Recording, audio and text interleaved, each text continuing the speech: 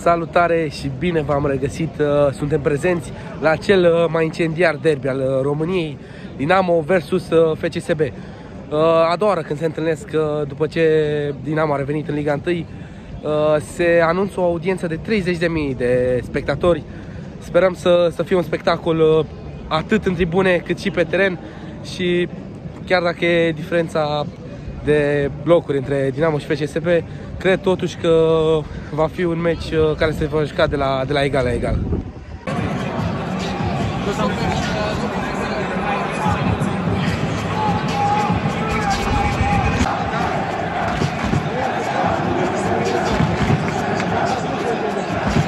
Și cu cine credeți că ne-am întâlnit? Suntem alături de Andrei de la o pasiune nemuritoare. Salut, Salut Andrei! Tuturor, salutări, salutări!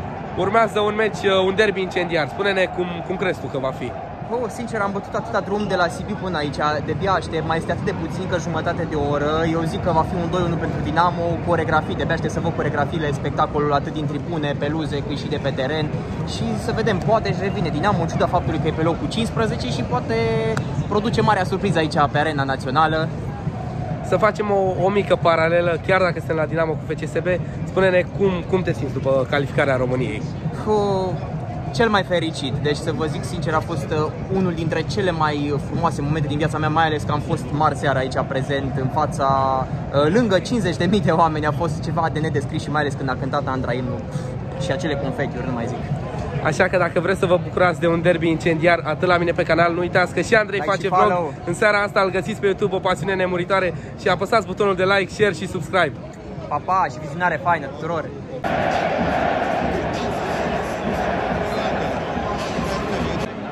Și nu uitați că dacă vreți să vă bucurați de calificarea României, la mine pe canal găsiți vlogul din Ungaria de la partida cu Israel a României, cât și vlogul de la partida de pe arena națională, acolo unde băieții noștri s-au, s-au impus cu scorul de 1 la 0, iar atmosfera din tribună a fost una incendiară.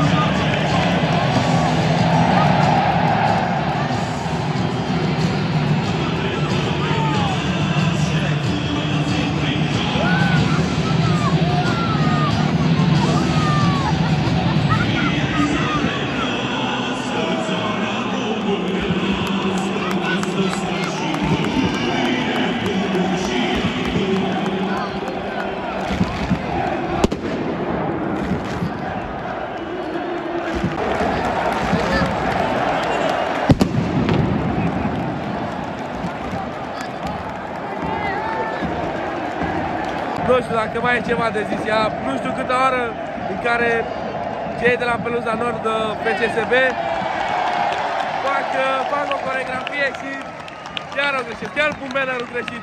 Și și voi, cu Peluza Nord, bannerul de 20 ori pus, pus invers.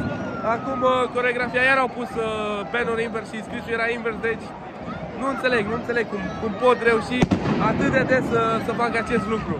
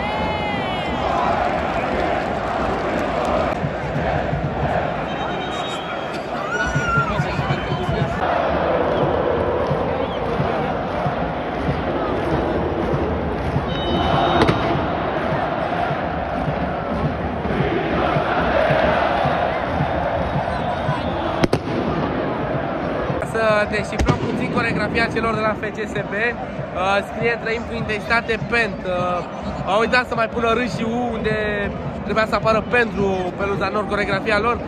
După ce au pus bannerul prost, uh, R și U nu mai apar, deci trăim cu intensitate pent peluza nord. Coregrafie de minune.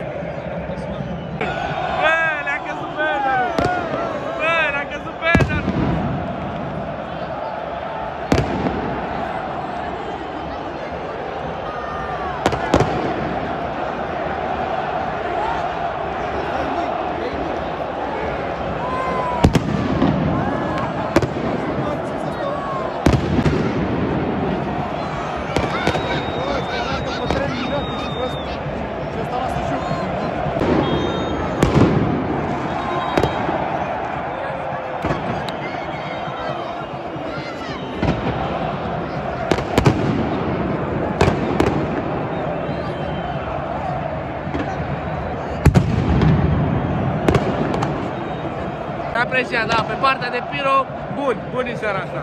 Dar ce înseamnă mesaje pentru coregrafie, slab, le-au căzut și, le-a căzut și bannerul, deci nu știu dacă mai e ceva de zis.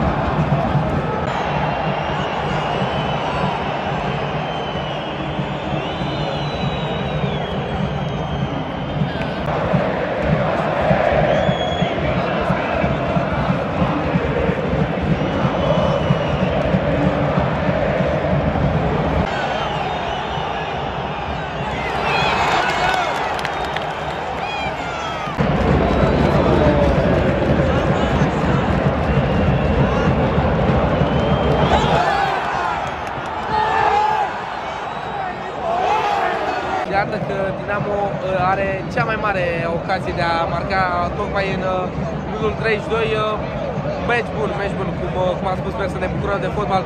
Până acum ambele echipe au jucat, au jucat destul de bine.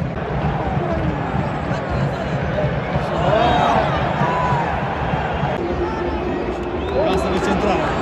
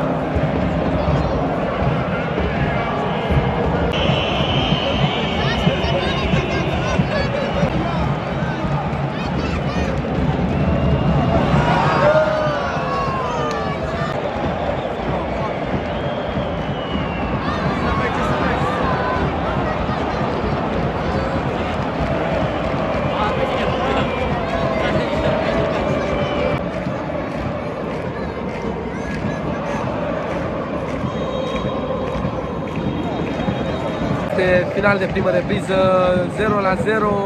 Iată că niciuna dintre echipe nu a reușit să găsească poarta, să scutre plasa porții. Sper că în a doua repriză să, să avem parte totuși de goluri.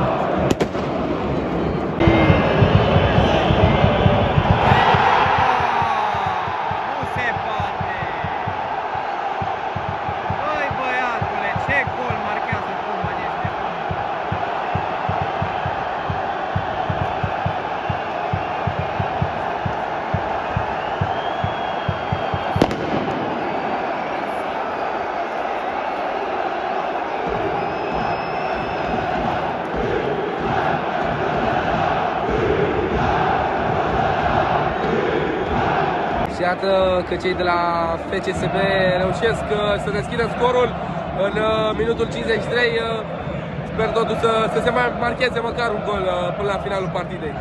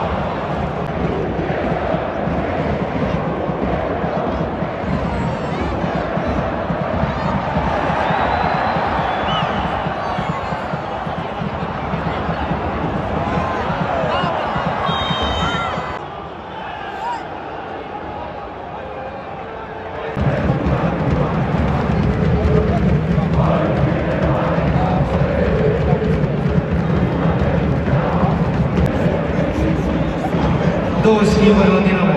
Iese de pe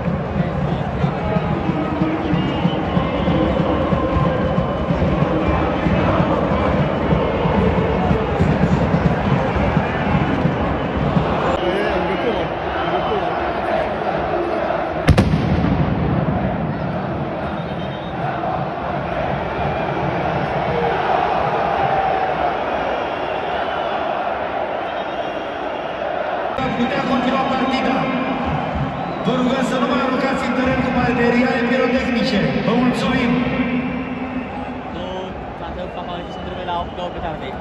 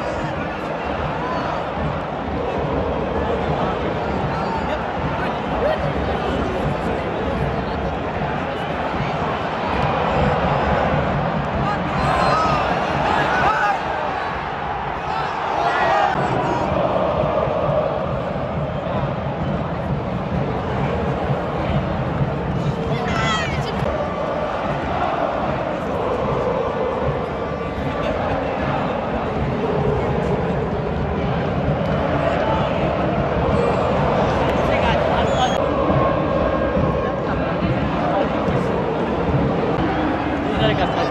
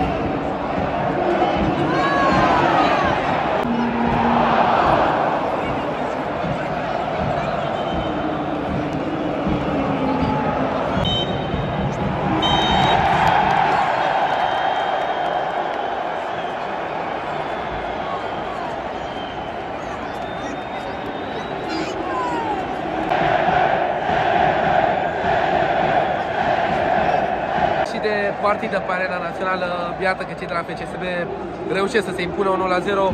Sincer, mă așteptam uh, să văd mai multe goluri.